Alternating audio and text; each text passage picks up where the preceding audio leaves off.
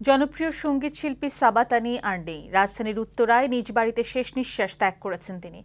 তার পরিবার জানায়, দীর্ঘদিন যাবৎ নিম্ন রক্তচাপে ভুগছিলেন তিনি। আশি ও নব্বই দশকে টেলিভিশন ও মঞ্চে গান গেয়ে জনপ্রিয়তা অর্জন করেছিলেন তিনি। মাঝে কয়েক বছর বিরতির পর দু হাজার ষোলো সালে আবারও সঙ্গীতে ফেরেন।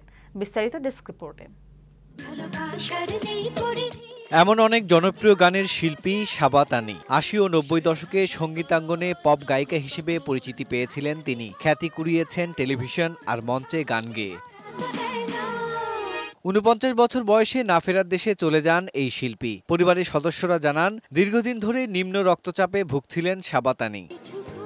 কিছুক্ষণ কোনো বৈশাখী রাতে যদি এমন অনেক জনপ্রিয় গানের শিল্পী ছিলেন সাবাতানি, তবে দীর্ঘদিন সংগীত থেকে দূরেও ছিলেন তিনি।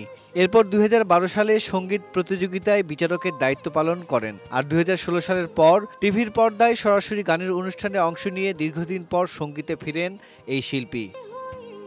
সাবাতানির মৃত্যুতে সঙ্গীতাঙ্গনে নেমে এসেছে শোকের ছায়া। সামাজিক যোগাযোগ মাধ্যমে তার মৃত্যুতে গভীর শোক জানিয়েছেন একাধিক শিল্পী ও ভক্ত।